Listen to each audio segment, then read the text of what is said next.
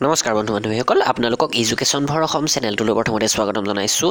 S S চিৰ ফালৰ পৰা অহা দহ হেজাৰটা পদৰ অনলাইন আবেদন এতিয়াও লৈ থকা হৈছে আৰু সকলোৱে ইয়াতে এপ্লাই কৰিব পাৰে যদি আপুনি H S L C pass কৰিছে বা হায়াৰ ছেকেণ্ডাৰী পাছ কৰিছে বা আপুনি গ্ৰেজুৱেট তো ইয়াতে এটা কথাই আপোনালোকক জনাব বিচৰা হৈছে যে যদি এতিয়ালৈকে আপোনালোকে এপ্লাই কৰে তেনেহ'লে অতি সোনকালে এপ্লাই কৰক। লাষ্ট ডেটলৈকে আপোনালোকে আৰু ৰৈ নাথাকিব। আজিয়েই এপ্লাই কৰি দিয়ক।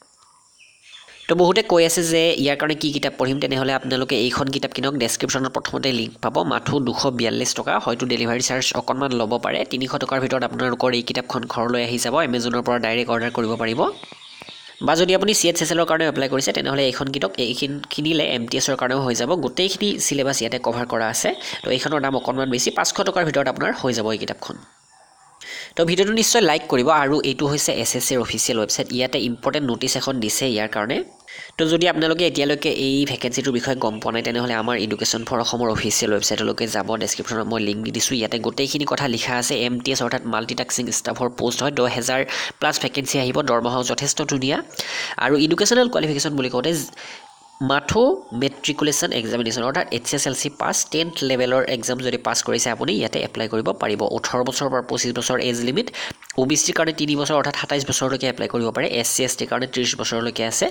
তো পি ডাব্লিউ ডিৰ কাৰণে আৰু আছে। তো ইয়াতে আমাৰ অসমৰ ক্ষেত্ৰত চেণ্টাৰ ক'ত ক'ত আছে বুলি ক'লে গুৱাহাটী এইফালে আছে যোৰহাট শিলচৰ তেজপুৰ আৰু ডিব্ৰুগড়। বাইছ এপ্ৰিলৰ পৰা ঊনত্ৰিছ মে'ৰ ভিতৰত আপুনি এপ্লাই কৰিব পাৰে। কিন্তু বাৰে বাৰে কোৱা হৈছে যে ঊনত্ৰিছ মে'লৈকে আপোনালোকে নৰ'ব ছাৰ্ভাৰৰ প্ৰব্লেম হৈ যায়।